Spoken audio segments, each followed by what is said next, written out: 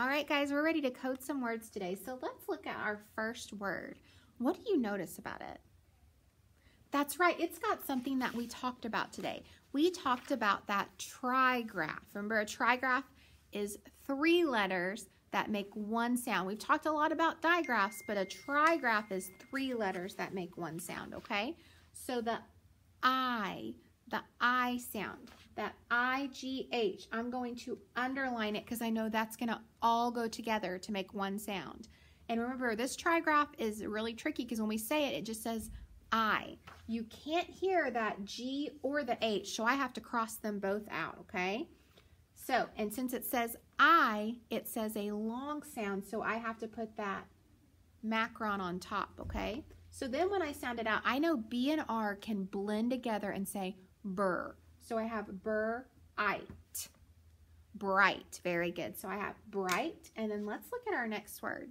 What do you notice? Well, first, if I look at the end, it's got that S.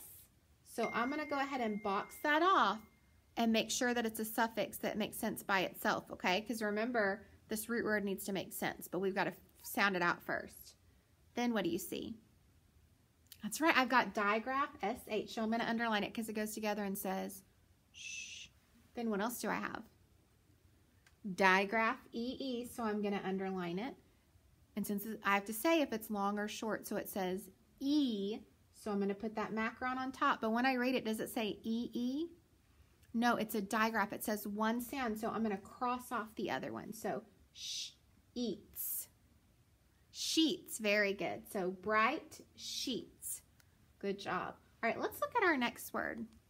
What do you notice about that word? I don't have any endings. I don't have an S. I don't have suffixes like S, ing, ed. I don't have a Y. So where are my vowels? I've got a vowel right here and I've got a vowel right here. That's right. But look, it's a U and an E, and it's got that consonant between it. So this is going to be a U consonant E word. And I know when we have a U consonant E word, that U is going to be long, and that sneaky E is going to be silent. So I have to mark it off, okay? So, so far I have crude. Crude. Very good. So crude. And then what do you notice here? Hmm. It's a pretty long word, isn't it?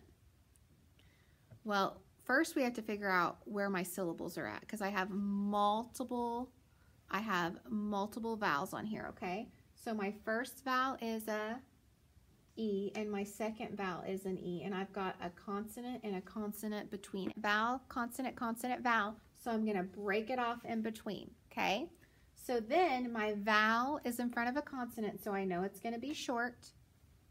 Okay, so, and I've got that SH, which I know is a digraph, so I'm going to underline it so it goes together. So I have sh, L, shell. So my first syllable says shell.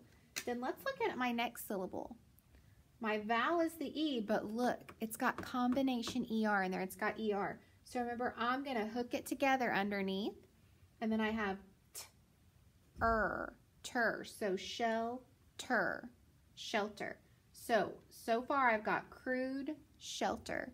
Let's read all of them together. Bright, sheets, crude, shelter.